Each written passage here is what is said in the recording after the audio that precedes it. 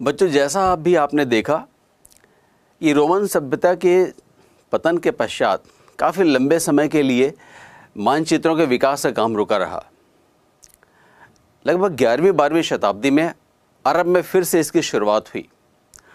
और एक नाम जो इतिहास में आता है, महान भूगोलवेत्ता के रूप में और एक नक्शा नवीस के रूप में, ऐसे व्यक्ति के रूप में जो बड़ा मानचित्रकार था, वो है नाम अल इदरीसी का।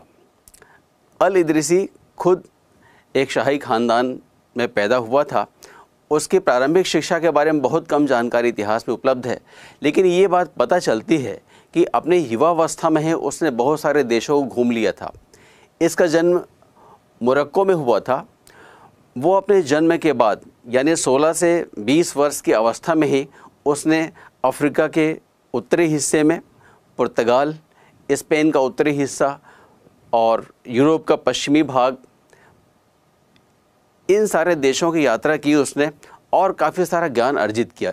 इसमें ख़ास बात और है कि उसने अपनी इस यात्रा में एशिया माइनर को भी देखा और इन तमाम जगहों से उसने बहुत सारी जानकारियाँ एकत्रित की, उन्हें किताब के रूप में बदला और उसके इस काम से प्रभावित हुआ सिसली का राजा रोज़र द्वितीय।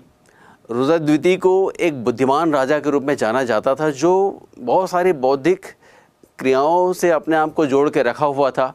उसने कई सारी किताबों की दूसरी भाषा में अनुवाद भी कराए थे। उसे जब अल इदरीसी के बारे में पता चला तो उसके मन में इच्छा हुई कि वो दुनिया को और बेहतर जानने के लिए कुछ काम करे, दुनिया का नक्शा बनवाए। उसने अल इदरीसी को अपने यहाँ आमंत्रित किया और उसके सामने एक प्रस्ताव रखा कि आप दुनिया की यात्रा करिए और एक नक्शा बनाइए जो पूरी दुनिया को प्रदर्शित करता हो।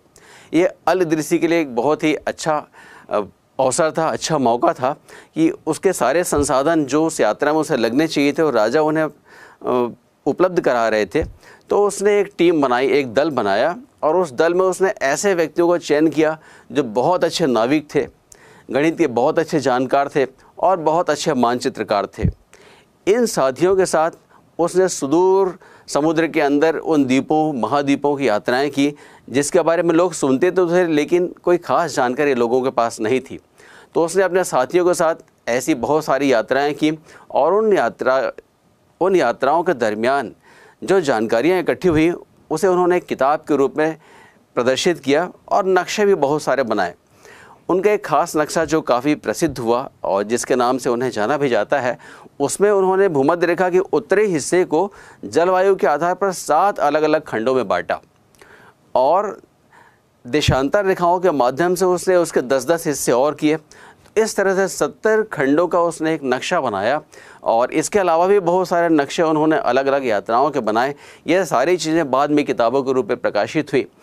इसके बाद कुछ समय बीत जाने के बाद यूरोप के लोगों में इस बात की चेतना पैदा हुई कि उन्हें भी समुद्र की यात्राएँ करनी चाहिए और दूसरे देशों की यात्राएँ करनी चाहिए।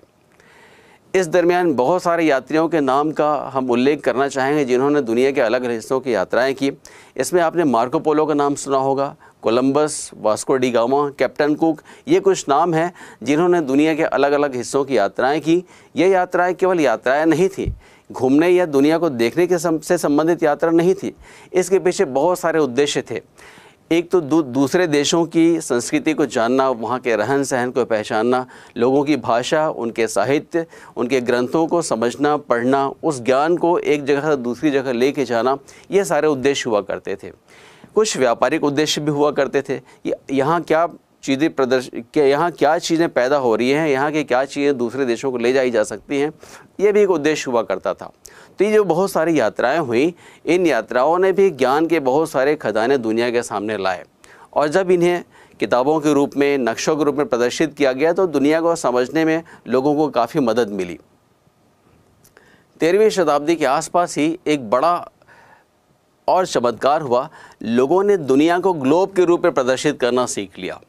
अब तक नक्शों को हम समतल पर या धरातल पर प्रदर्शित करते थे, लेकिन धीरे धीरे जब ये समझ में बात आई कि पृथ्वी चपटी नहीं है, गोल है। जैसा कि हैकेटियस ने अपने नक्शे में बनाया था कि पृथ्वी चपटी है, उससे अलग सोच यहाँ पर दुनिया के बारे में लोगों की आई। लोगों ने दुनिया को एक गोल, गुलाब के रूप में देखना शुरू किया और नक्श, नक्शे को उन्होंने ग्लोब के रूप में प्रदर्शित करना शुरू किया। एक और बड़ी बात हुई थी कि सोलहवीं शताब्दी के आते आते यूरोप ने छापे खाने का आविष्कार कर लिया था, छापने की मशीन तैयार कर ली थी। इस चीज़ ने नक्शे को ज़्यादा पॉपुलर किया, लोगों तक नक्शे को ले जाने के लिए एक साधन उपलब्ध करा दिया। जो नक्शे केवल हाथ से बनाए जाते थे, अब वो छपने लगे और ज़्यादा लोगों तक पहुँचने लगे। ये तो कुछ बातें हुई जो नक्शों के विकास के क्रम को प्रदर्शित करती हैं। अब हम थोड़ी सी बात करेंगे मार्को पोलो की। मार्को पोलो ने जो अपनी यात्रा की, उसने अपनी यात्रा वेनिस शहर से शुरू की थी और थल मार्ग से यरूशलेम होते हुए वो चीन तक अपनी यात्रा करता है और चीन में काफ़ी समय रहने के बाद पूर्वी चीन से वापसी की उसकी यात्रा शुरू होती है और पूर्वी चीन से वो वियतनाम वियतनाम से होले पूर्वी चीन से वियतनाम वियतनाम से मलय प्रायद्वीप वहाँ से फिर निकोबार द्वीप समूह, निकोबार द्वीप समूह से वो लंका आता है। लंका के बाद भारत के पश्चिमी क्षेत्रों का भी भ्रमण करता है और इसके बाद ईरान होते हुए वापस वेनिस शहर को वापस आता है। तो ये मार्कोपोलो की यात्रा थी। इस यात्रा में उसने भी जो जानकारी संकलित की और दुनिया में जिस तरह के थल और जल मार्ग के बारे में लोगों को बताया, वो अपने आप में एक बड़ी खोज के रूप में जाना जाता